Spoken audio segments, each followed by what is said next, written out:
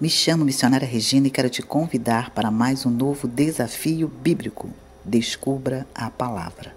Eu vou revelar duas letras e vou dar uma dica. Então, vamos para o desafio?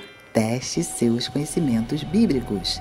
E as letras são a letra P e a letra E.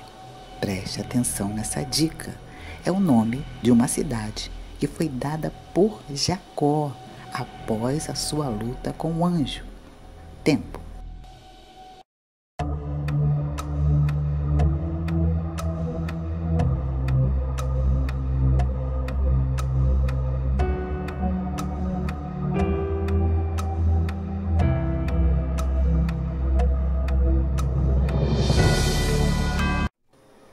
Esgotado.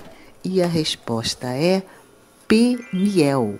Se você respondeu Peniel, Parabéns, você acertou. Se você não conseguiu, não foi dessa vez, não fique triste, porque você ganhou conhecimento. Até o próximo desafio. Deus abençoe você e toda a sua família. Ah, não se esqueçam de deixar o seu like, de se inscrever no nosso canal e de nos ajudar compartilhando esses vídeos. Deus abençoe a todos.